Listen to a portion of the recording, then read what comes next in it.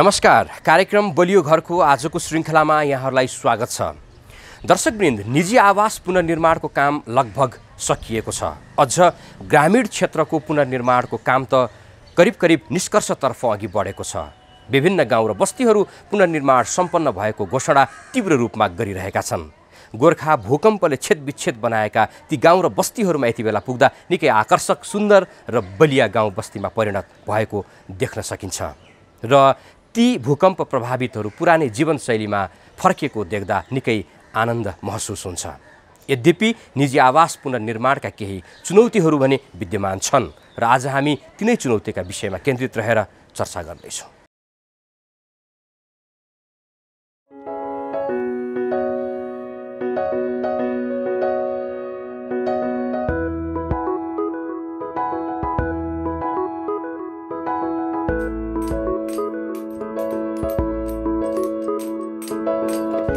Retrofit अर्थात् प्रबलीकरण पुनर्निर्माणको मुख्य चुनौतीको विषय।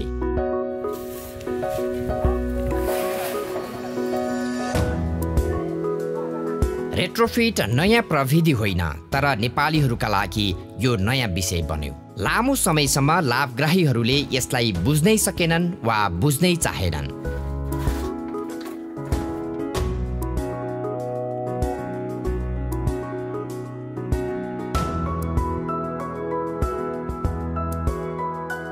केही लाभग्राहीहरूले सामान्य टालटुल गरेर त्यसैलाई रेट्रोफिट भन्दै सरकारसँग अनुदान रकम माग्न थाले भने सामान्य क्षति भएका घर कतिले माया मारेर हिँडे कतिले क्षति पुगेको घरमा बस्न सकिँदैन भनेर नयाँ घर बनाउने मेसो मेलो मिलाउन थाले। आंशिक भएर एक लाख रुपियाँ पाउने आयो। अनि एक लाख रुपियाँ पाउँदाखेरि अब यस्तो घरलाई रेट्रोफिटिङ हुँदैन। यो घर अब भित बस्ने लायकको छैन। यो हुँदैन भनेर मैले तिन लाख रुपियाँ पाउनुपर्छ भनेर मैले निवेदन दिएको हो। नपरे पनि म बनाउने भनेर हिम्मत ठोकेर भत्काएको।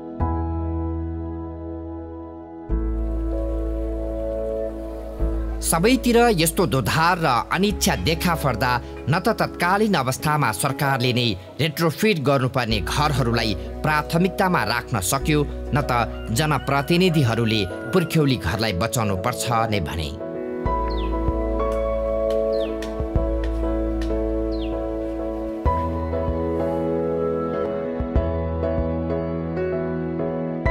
यति बेला नेपालको पुनर्निर्माण टुङ्गिने अवस्थामा छ। सहज रूपमा बन्न सक्ने र बन्नै पर्ने घरहरू अधिकांश बनिसके। अब बाँकी चुनौती नै छन्।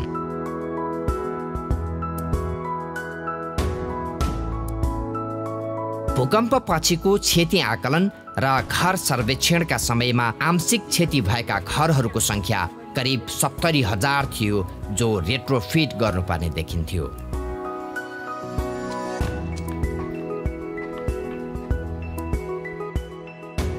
आजको समयसम्म आइपुग्दा रेट्रोफिट भएको घरहरूको सङ्ख्या एक सय माथि पुग्न सकेको छैन। यसरी हेर्दा रेट्रोफिट गर्नुपर्ने घरहरूको सङ्ख्या करिब पुरापुर छ।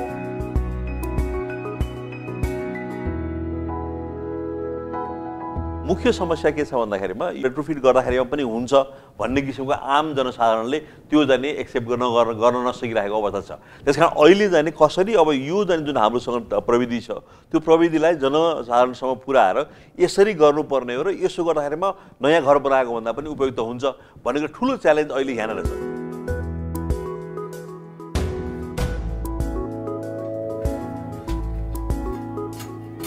प्राविधिक रूपमा जाने हामीले जाने जुन किसिमको जाने अहिले गरेर आएका छौँ विभिन्न किसिमका मोडेलहरू जाने मतलब बनाइएको छ। त्यसमध्येमा कुन अवस्थामा कस्तो किसिमको मोडेल जानेमा जानु उपयुक्त हुन्छ भन्ने कुरा पनि अब निर्क्युल आयो एक किसिमबाट जाने हामीले एक्सपेरिमेन्ट गरेर हाम्रा विभिन्न जाने साझेदार संस्थाहरूले एक्सपेरिमेन्ट गरेर अगाडि लिएर आउनुभयो।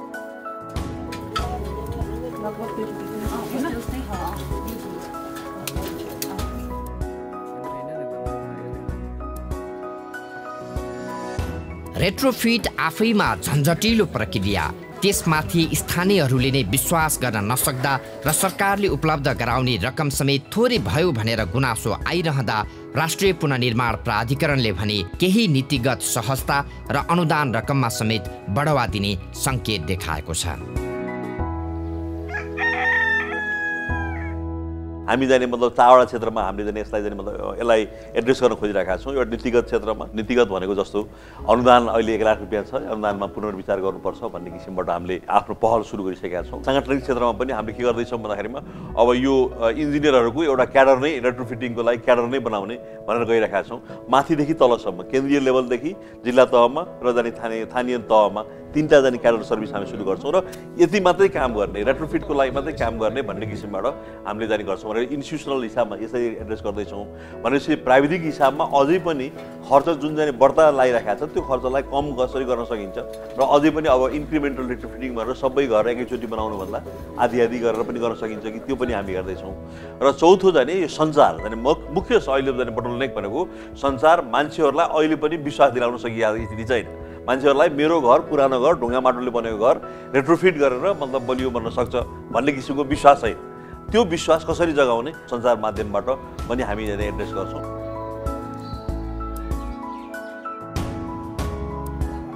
अहिलेकै अवस्थामा पनि रेट्रोफिट गर्ने लाभग्राही उत्साहित छन् र खुसी पनि छन्। आफ्ना पुर्खाले बनाएको पुरानो र आफूलाई आवश्यक घर रेट्रोफिट पछि पहिलेकै जस्तो पाइयो भनेर खुसी व्यक्त गर्ने लाभग्राहीहरू पनि छन्। पच्चिस लाखको घर पाँच लाखमा बनाउनु भनेपछि जानु त खुसी के हो? होइन? मलाई आनन्द छ सर आनन्द। ए अस्ति आइसकेँ बसेँ खाना चाहिँ यो कालो लाग्छ धुवालेर उता दिएर कटाइदिएर खान्छु। लाभग्राहीहरूमा रेट्रोफिट प्रति देखिएको एक खालको दुविधाको करिब अन्त्य भएको छ। गाउँ गाउँ र टोल टोलमा बनेका रेट्रोफिटका नमुना घरहरूले ढुङ्गा माटोको घर पनि बलियो हुन्छ र टिकाउ हुन्छ भन्नेमा विश्वास जगाइदिएको छ। अब देखिएको केही प्राविधिक जटिलता चिर्न सकियो भने पाँच वर्षे पुनर्निर्माण महाअभियानभित्र रेट्रोफिटको चुनौती पनि चिर्न सकिएला जसले भूकम्प प्रभावित बत्तीस जिल्लाले त राहत पाउला नै बाँकी रेट्रोफिट गर्नुपर्ने देशभरका कमजोर घरहरूका लागि पनि ठुलो पाठ बन्नेछ।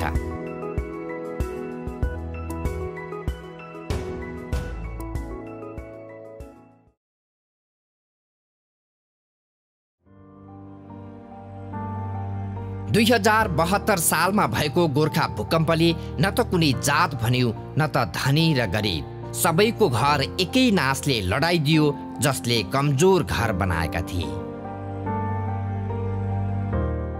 भूकम्प पछिको पुनर्निर्माणमा निजी आवास निर्माणका लागि सरकारले आर्थिक तथा प्राविधिक सहयोग उपलब्ध गरायो र पुनर्निर्माणको काम सुरुवात भयो। तर केही त्यस्ता परिवार रहे जसले आर्थिक सहयोग र प्राविधिक सहयोग पाउँदा पाउँदै पनि आफू बस्ने घर पुनर्निर्माण गर्न सकेनन्।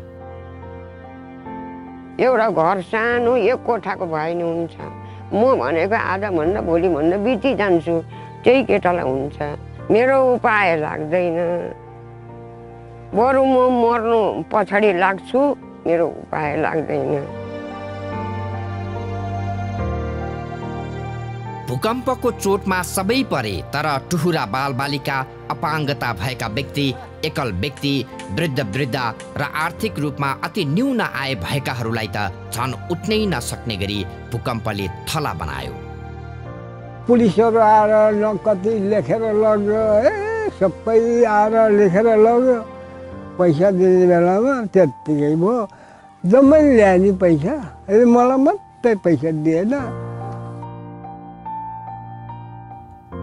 यस्ता करिब अठार हजार परिवारको घर पुनर्निर्माण गर्नुपर्ने प्राधिकरणको तथ्याङ्कमा छ। तर त्यस्ता घर पुनर्निर्माणका लागि सरकारले पचास हजार अनुदान थप गरी स्थानीय निकायको समन्वयमा विभिन्न विकास साझेदार संस्थाहरूलाई जिम्मा दिए पनि खासै प्रगति हुन सकेन।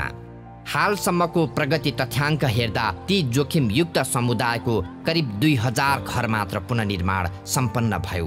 बाँकी सोह्र हजार घर त्यसै रहे। पैसा मात्रै भएर पनि जोखिमयुक्त परिवारहरू जस्तो वृद्ध वृद्धाहरू त्यस्तै गरेर जाने अपाङ्गहरू र जाने बालबालिकाले मात्रै भएका घर परिवारहरूलाई पैसा मात्रै भएर पनि बनाउन नसक्ने भएको हुनाले हामीले जाने प्राविधिक सहयोग गर्नलाई भनेर उनीहरूलाई नै टार्गेट गरेर हामीले जाने केही मतलब यो सामाजिक परिचालकहरू र इन्जिनियरहरू अब छिटै जाने हामीले जाने परिचालन गर्ने स्थिति छ। त्यस कारण उनीहरूको तर्फबाट काम गरिदिने त्यस किसिमको जाने व्यक्तिहरूको तर्फबाट काम गरिदिने भनेर अब अहिले चाहिँ अठार हजार जाने मतलब यस्ता किसिमका लाभकारी छन्। त्यसमध्येमा सोह्र हजार बाँकी छन्। दुई हजारको सम्बोधन भइसकेको छ। अब सोह्र हजार जाने परिवारलाई त्यसरी जाने हामीले अगाडि लिएर जाने भन्ने किसिमको अगाडि लिएर गइरहेका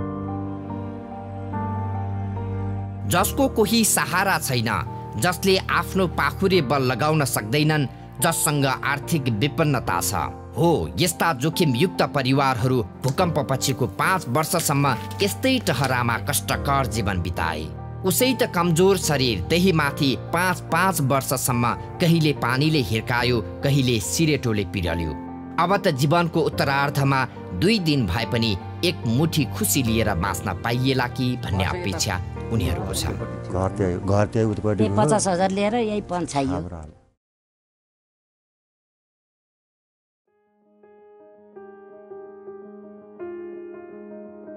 यो काठमाडौँ सहर सहरभित्रका बस्तीलाई पनि गोर्खा भूकम्पले ठुलो धक्का दियो।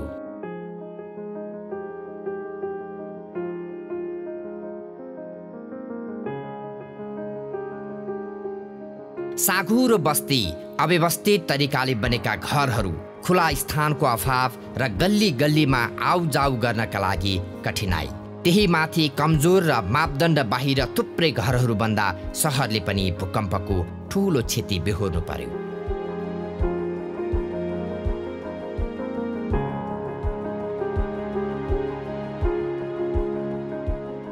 आर्थिक हिसाबले सम्पन्न मानिने सहरी पुनर्निर्माण सहज होला छिट्टै टुङ्गिएला भन्ने अनुमान थियो तर यिनै गल्लीभित्र हरायो पुनर्निर्माणको प्रगति। छिमेकीको घर बनाएको थियो धेरै नै अलिकति अलि उनीहरूले चाहिँ जग धेरै नै खनेको रहेछ हामीले पनि थाहा भएन।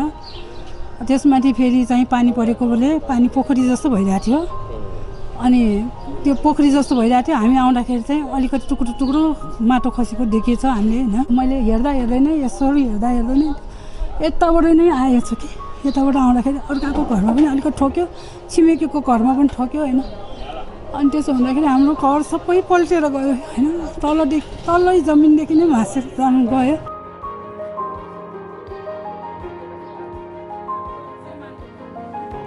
थोरै जग्गा हुनु। सरकारको मापदण्ड सडकको आफ्नै खालको मापदण्ड। गुठीको जग्गा भित्री गल्लीसम्म ढुवानीकै समस्या। साँध सधियारको किचलो उस्तै खालको प्रशासनिक जटिलता आदि इत्यादिका कारण सहरी पुनर्निर्माणले गति लिन सकेन। किनभने यो हाम्रो लाल पूर्जा नभएर तिन टुक्रा हुने भयो। लाल पूर्जा छैन। लाल पूर्जा नभइकन त। कुरै छैन।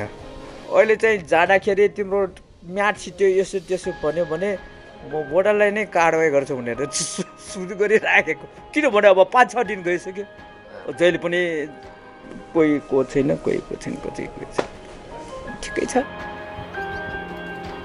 हो उपत्यका बाहिरका सहरी पुनर्निर्माणका पनि विभिन्न खाले जटिलताहरू देखिए जसलाई प्राधिकरणले पनि चुनौतीको एक मुख्य क्षेत्रको रूपमा लिएको छ। अपेक्षाकृत पुनर्निर्माण हुन नसकेका कारण सहरी पुनर्निर्माणप्रति विज्ञहरूले समेत चिन्ता व्यक्त गरेका छन्। उनीहरूले सहरी पुनर्निर्माणमा कानुनी सहायता र प्रशासनिक सरलता नदिएसम्म अझै पनि सहरी पुनर्निर्माण सहज रूपमा नफुक्ने सुझाएका छन्। सहरी क्षेत्रको पुनर्निर्माण संसारभरि नै जहाँ पनि अलिकति जटिल बन्छ र त्यसलाई चाहिँ अलिक सिस्टमेटिकली खास गरी सरकारले पैसा दिएर भन्ने होइन। तर त्यसलाई कसरी फेसिलिटेट गर्न सक्छ? महानगरपालिकाले जमानी बसेर अथवा सरकारले जमानी बसेर अथवा सामूहिक जमानीमा कसरी साँच्चै नै फेसिलिटेसन जस्तै नीतिगत मात्रै होइन कि त्यसमा चाहिँ प्रशासनिक सहयोग पनि जस्तै चाहिँ अहिले अहिलेसम्म हामीले ग्रामीण क्षेत्रमा दुईवटा सहयोग हामीले चाहिँ एउटा चाहिँ सामाजिक सामाजिक कार्यकर्ता सोसल डेभलपमेन्ट अफिसर अर्को चाहिँ प्राविधिक इन्जिनियर। तर सहरी क्षेत्रमा त्यतिले मात्रै नपुग्ने लिगल एडमिनिस्ट्रेटिभ सपोर्ट सहितको यदि हामीले त्यस्तो चाहिँ सहयोग गर्न सक्यौँ भनेदेखि चाहिँ अलिकति राम्रो हुन्छ होला जस्तो लाग्छ र चाहिँ अपर्च्युनिटी पनि छ। हामीले चाहिँ हामीले राम्रो गऱ्यौँ भनेदेखि त्यो चाहिँ नमुना पनि हुन्छ किनभने अहिलेसम्म त्यस्तो एकदमै सक्सेसफुल मोडल छैन पनि। ग्रामीण भेगको पुननिर्माणले एक खालको प्रगति हासिल गर्दा र धेरै गाउँहरू पुननिर्माण सम्पन्न भइसकेको घोषणा भइरहँदा सहरी पुननिर्माण अब पेचिलो बन्नु हुँदैन। सहरको आकर्षणको रूपमा रहेका सम्पदा क्षेत्रभित्रका बस्तीहरू अब उठ्नुपर्छ। सधैँभरि यहाँका बस्तीहरू टेकुको भरमा जोखिम मोलेर बस्नु हुँदैन।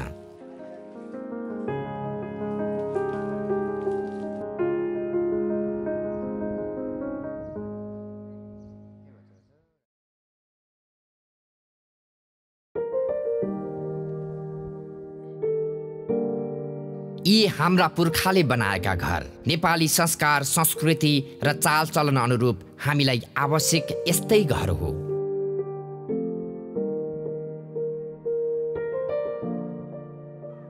गोर्खा भूकम्पपछि मापदण्डमा बनेका यी घरहरू।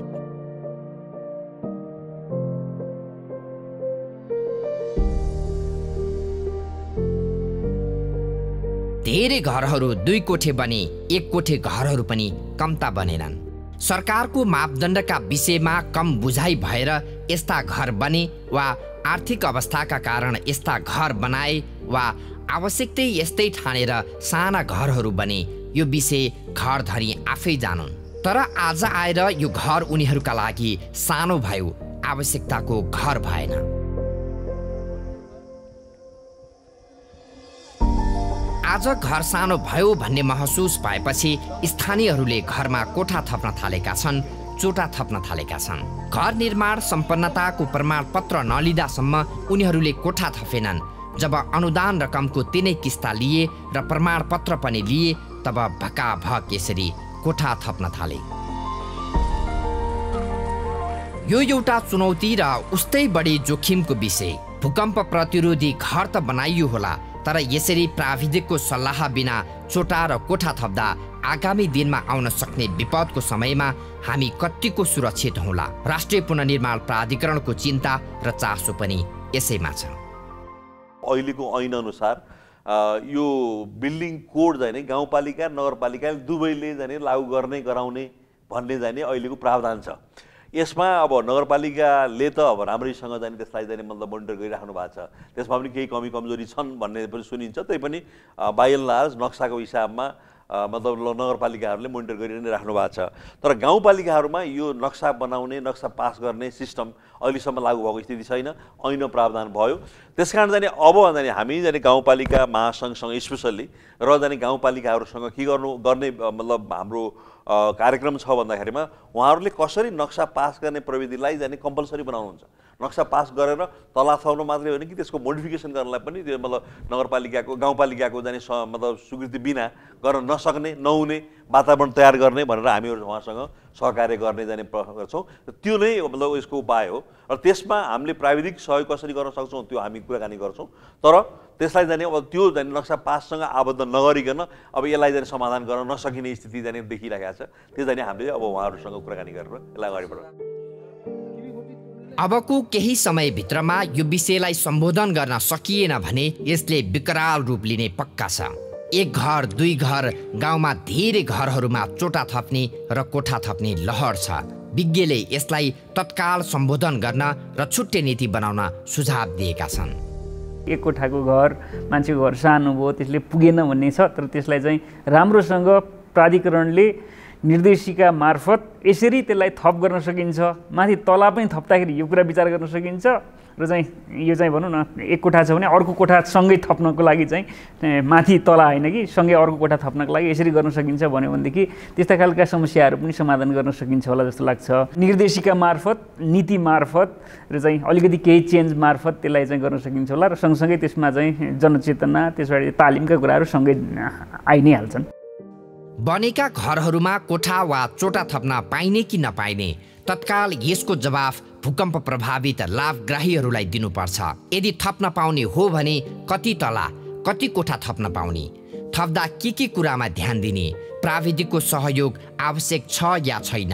यस्ता खालका जिज्ञासाको जवाफ तत्काल गाउँ गाउँमा पुर्याउन आवश्यक छ।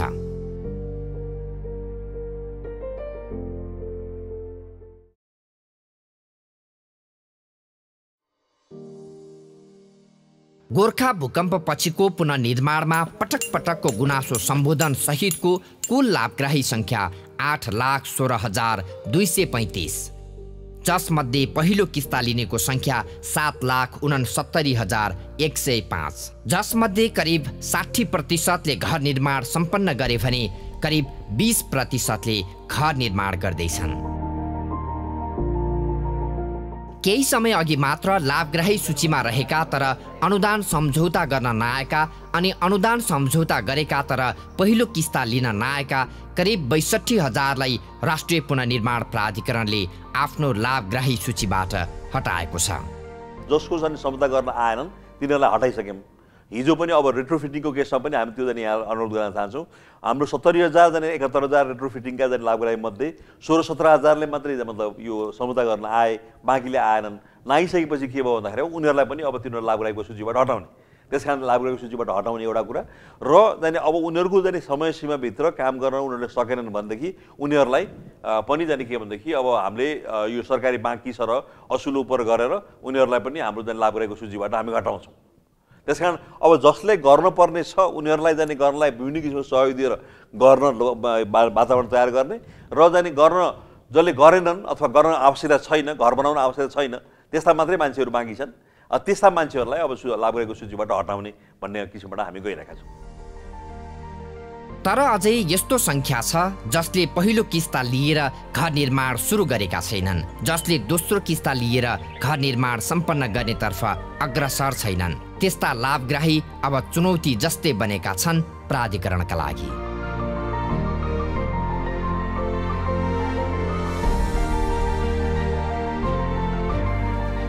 लाभग्राही सूचीमा रहेको र पहिलो किस्ताको रकम पचास हजारले घर नबनाउने लाभग्राहीहरूलाई लक्षित गरी सरकारले अनुदान रकम फिर्ता गर्न गरेको आग्रहलाई स्वीकार गर्दै केही लाभग्राहीहरूले भने रकम फिर्ता पनि गरेका छन्।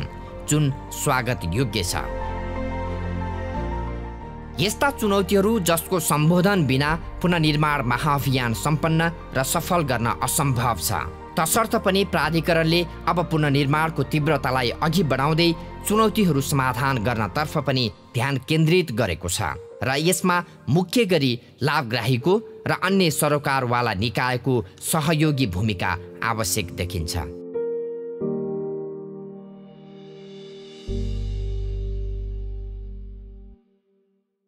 दर्शकवृन्द निजी आवास पुनर्निर्माणमा देखिएका यी विविध खाले चुनौतीहरूलाई समयमै सम्बोधन गर्न सक्ने हो भने तोकिएकै समयमा करिब शत प्रतिशत नतिजा हासिल गर्न सम्भव छ। र यसमा राष्ट्रिय पुनर्निर्माण प्राधिकरण निकै चिन्तासँगै सक्रियताका साथमा लागिरहेको छ। र तपाईँ हामी लाभग्राहीको पनि उत्तिकै दायित्व रहन्छ कि आफ्नो घर समयमै निर्माण सम्पन्न गर्न र यो महाअभियानलाई सहयोग गर्न। हवस् त अर्को हप्ता पुनर्निर्माणका अन्य विविध विषयहरूमा केन्द्रित रहने गरी उपस्थित हुनेछौँ। आजलाई हामी सबैलाई बिदा दिनुहोस्। नमस्कार।